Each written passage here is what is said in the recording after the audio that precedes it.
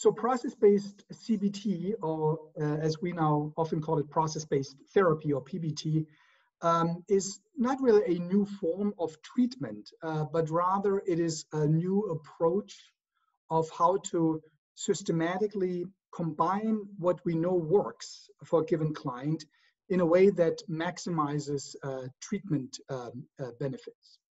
Uh, and um, you know, uh, it, it arose. So it's in close collaboration with my good friend and colleague Steven Hayes, and it arose from a discussion we had uh, initially a fairly uh, uh, well, we were we were enemies and controversy. Uh, we had a lot of controversies, and uh, and we we found common ground, and uh, we both were dissatisfied with the field of psychotherapy as it was, and um, and uh, I think an important uh, limiting factor was uh, was the so was the over focus on uh, on syndromes, on psychiatric disorders, on the idea that there that there's a latent disease behind depression, latent disease behind panic disorder, a latent disease behind generalized anxiety disorder that somehow you can't measure it directly, you can't access directly, you infer that based on symptoms that people report.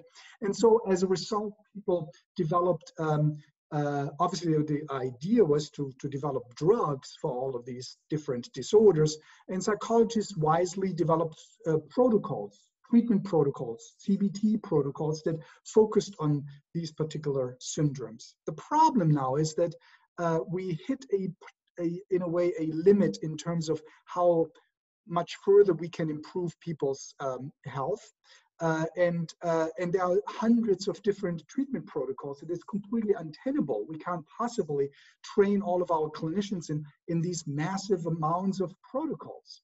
Uh, so these the the idea that um, psychiatric classification, the DSM, the ICD, um, uh, somehow eventually will, will lead us to, to this critical thing that we need to treat is not going to happen.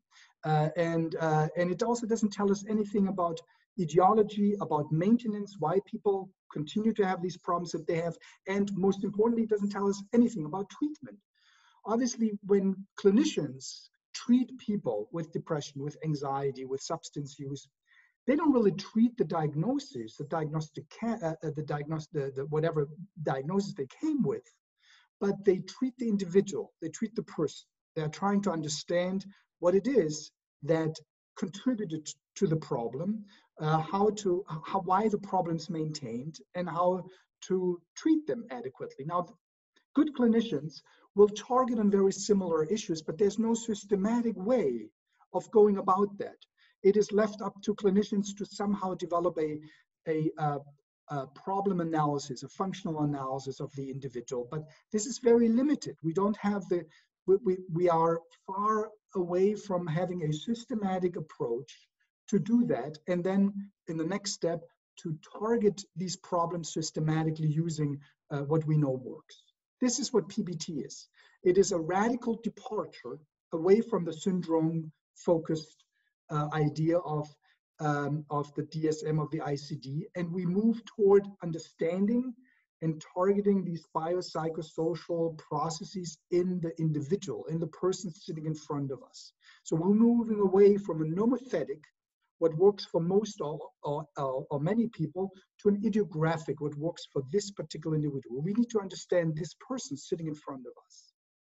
Uh, we um, uh, use an, a network approach to understand functional connectivity between pro, uh, problems of the client. We use an idiographic approach to move solely to the individual. And when then we use these change processes uh, we, are, we are trying to understand this change process by applying what we call an extended evolutionary meta model. I will uh, say a little bit more about that probably uh, in uh, uh, when we when I describe it in a bit more detail. But the in essence, process-based therapy is a functional analytic approach that um, generates a uh, for for a given individual uh, a maladaptive network to understand why this individual has this problem and, uh, and then attempts to uh, uh, identify entry, entry points in order to move this maladaptive network into an adaptive network by uh, disturbing these maladaptive processes that maintain uh, the problem and by enhancing adaptive processes, focusing on resiliency and other factors that um, enable uh, the clinicians to perturbate, to disturb the system, and then to change it into an adaptive network.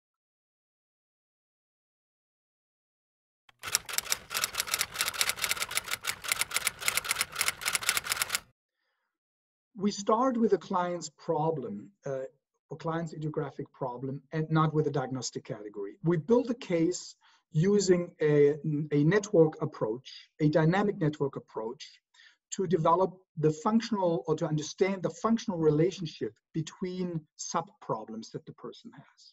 In order to do that, we developed a framework.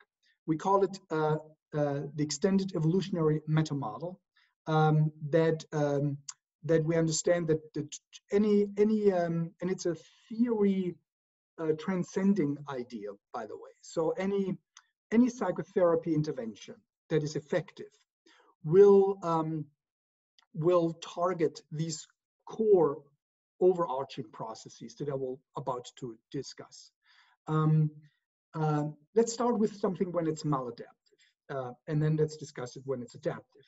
Maladaptation happens if there is there are problems in variation, selection, and retention, uh, applying it to a wrong context. In reverse, adaptation is healthy variation, selection, and retention in the in a given context. What does it mean? Um, let's say let's use a behavior as an example. Um, if you do one thing over and over again, it and you get whatever desirable outcome you want, it's adaptive you want to keep doing that. You want to hold on to it. Now things change. The context changes. You change. And the same behavior does not produce the same outcome anymore. Now it's time to, to choose another behavior, to, to show variation. Healthy variation is the key uh, that starts the evolutionary uh, uh, process uh, from moving toward adapt adaptation.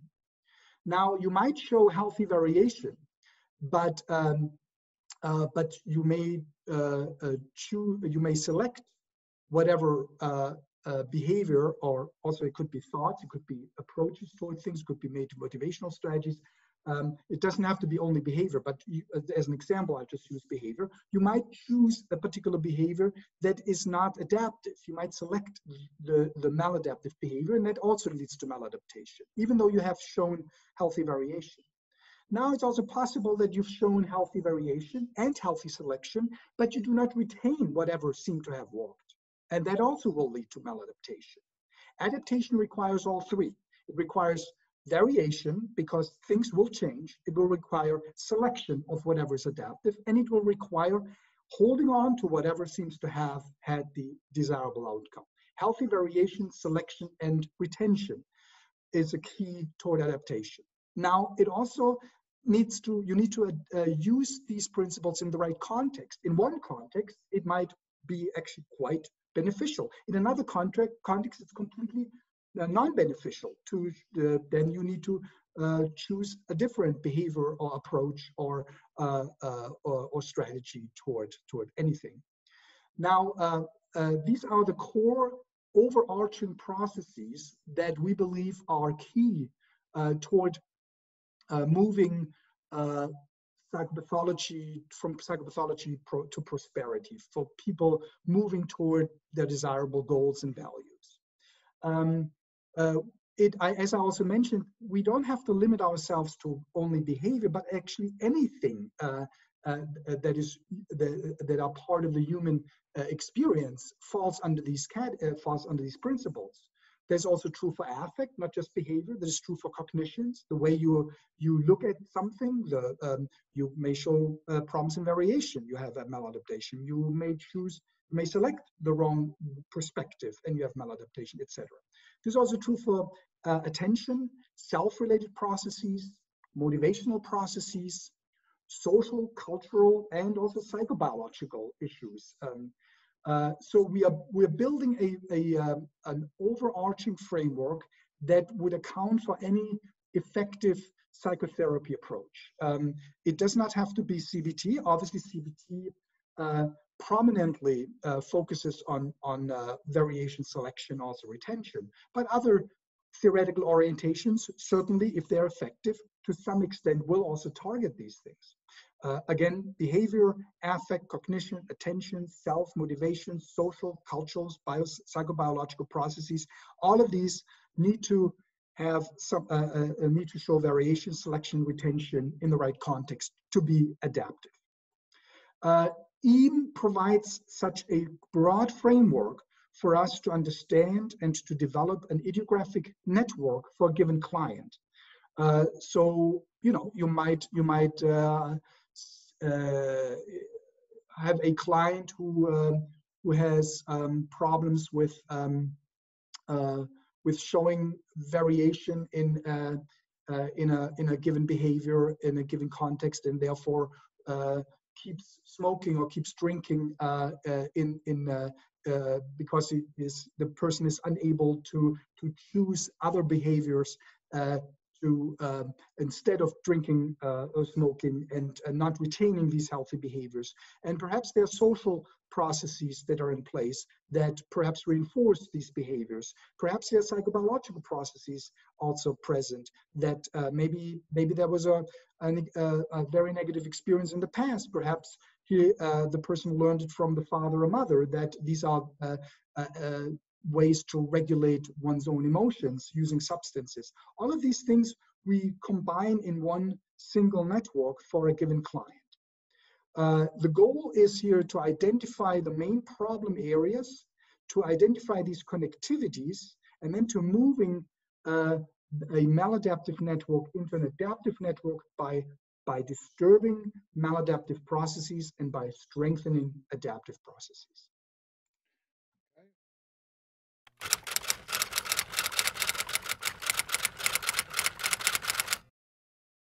Uh, in order to uh, really see how to apply it, you will need to come to the workshop uh, uh and uh, or attend the workshop.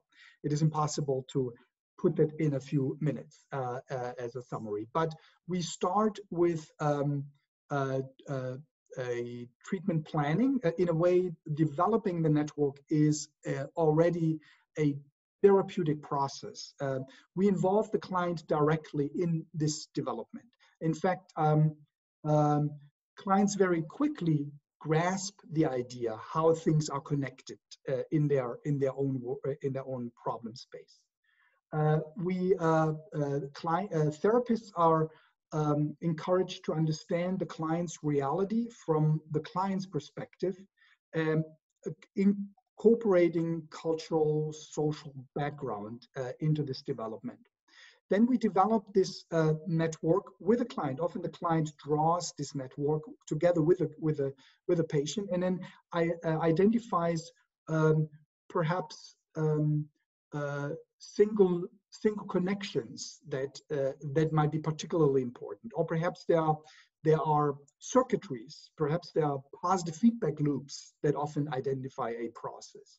Perhaps the social uh, context of, uh, of a person with substance use disorder um, is, is a primary factor that, that, that maintains the issue. So there are uh, these, these um, um, uh, sub networks within a network that we identify in order to, uh, to, um, to plan the treatment, in order to find the, the easiest entry point. There's no single um, solution to this problem, but there are multiple possible solutions to uh, disturb the network.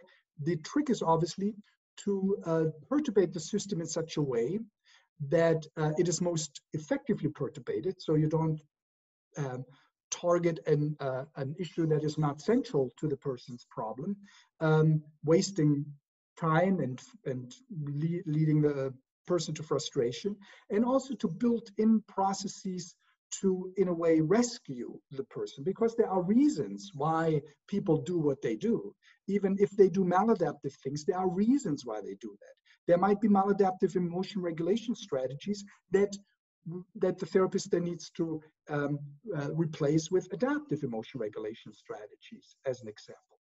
Um, we uh, the, uh, the the the uh, developing this this network uh, incorporates uh, issues very broad, not at all focused on on only one particular orientation. They just certainly we would encourage clinicians to uh, to explore developmental experience, trauma history, attachment styles, other vulnerabilities, um, anything that that might be uh, responsible for the maintenance of these problems and then uh, to identify reinforcers that uh, that that that would that, that, makes this system so resilient to change. Uh, so we we in in at any point these these networks as we develop them and as we go about in treatment these are dynamic changes. There's it is not that this network is set in place at the that the first session and then will re remain as it is, but rather it is an evolving process, and um, and the client will will uh, will redefine uh, her his own goals and values throughout treatment. Um, we we trying to understand where the suffering is coming from, where, what are the personal strengths, and then again, as I said, moving from psychopathology to uh, prosperity to toward toward meaning and and finding finding a a, a, a, a, purpose in, in life that, that fits the the client's um, uh, ideas and, and goals in life.